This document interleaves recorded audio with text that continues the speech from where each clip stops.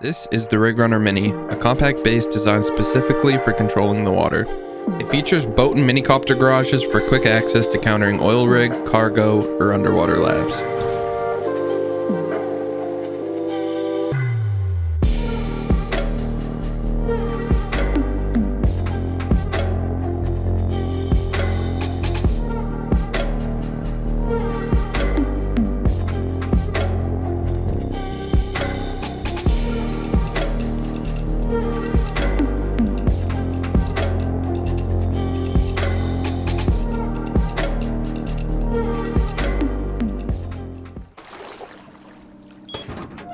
Entering the base, you'll be greeted by a 10 box loot room, along with two furnace pods, a battery pod, and a locker pod.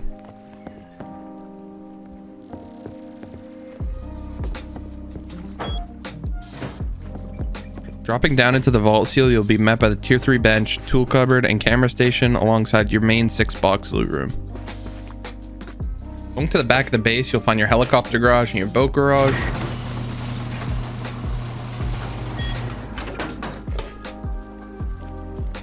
Build cost on screen includes the cost of all deployables used in the base. With the base's low cost, you can fit just over 4 days of upkeep in the tool cupboard.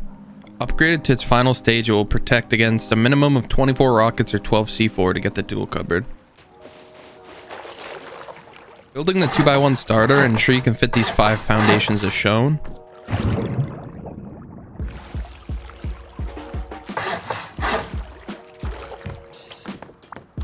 Next, you'll fill out the 2x1 with walls and leave the door frame wood as we'll break it later to place a garage door.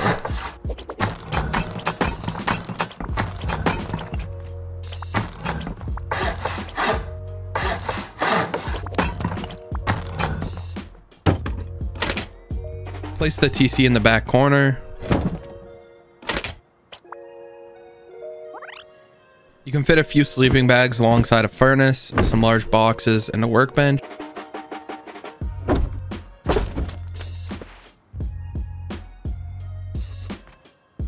Next, you'll add the airlock slash vault seal, then hatchet out the wood single door frame.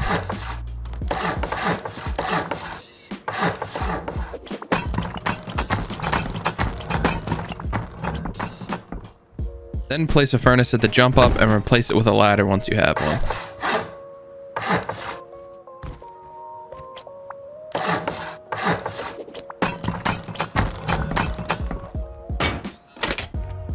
Put down a twig foundation with a triangle roof to enter the base.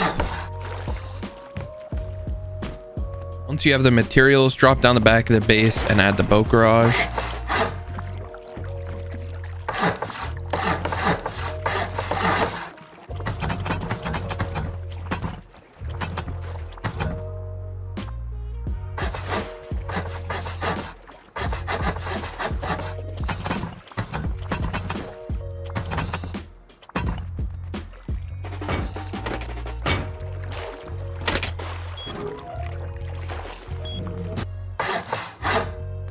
Next, you're going to want to place down your door frames and add your vault seal.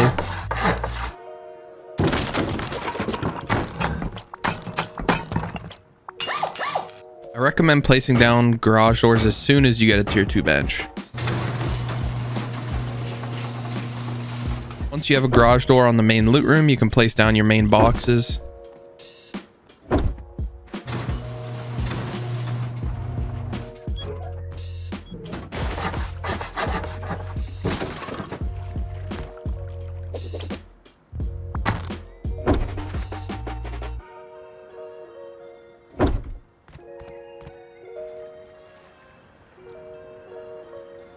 We'll start off the second stage by upgrading the vault to full sheet or armored, then adding honeycomb to the first layer.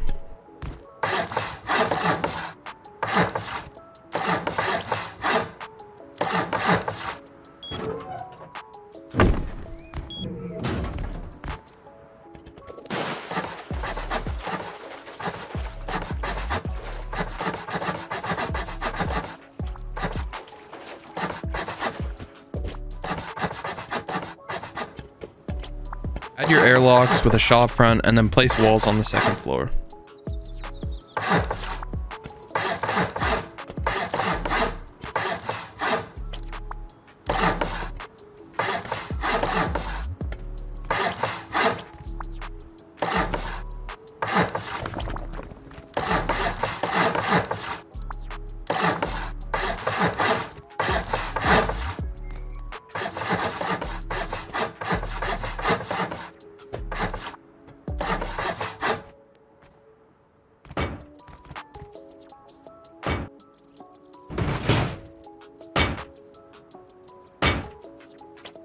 Then add all your double door frames.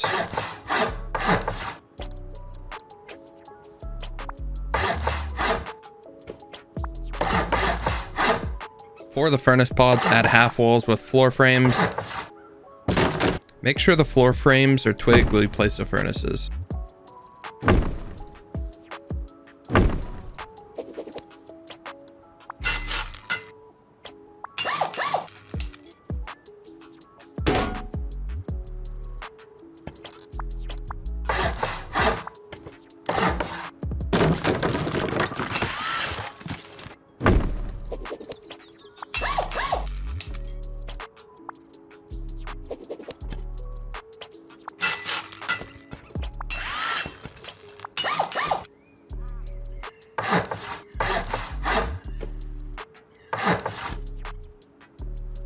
I recommend upgrading all the double door frames to sheet as it makes placing the boxes a lot easier.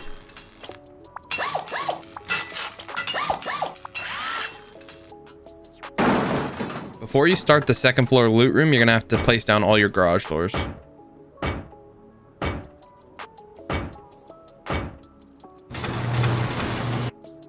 Now you're going to place down your 10 box loot room.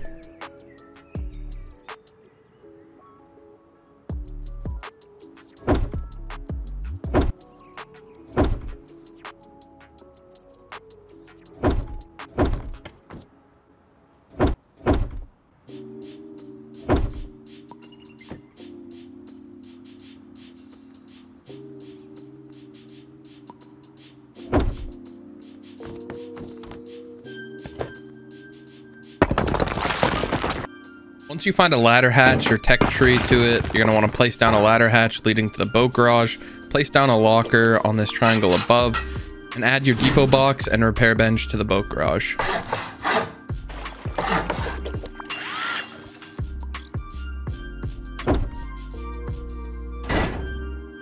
At this point, your base is in its final stages. All you're gonna have to do from this point is upgrade the main core to armored, upgrade your honeycomb to sheet, and you're done with the base.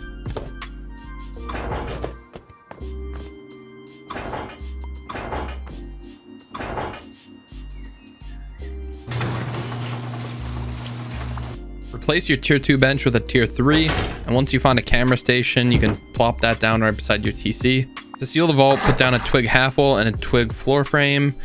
Stick a twig roof off of the floor frame and then upgrade it to armored and you're good. When you wake up in the morning, you'll just shoot out the uh, twig and the vault will fall.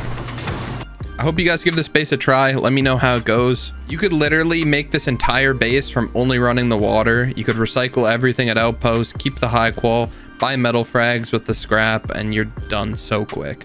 But let me know what you guys think in the comments. I appreciate you guys chilling and watching to the end. I'll see you guys next time.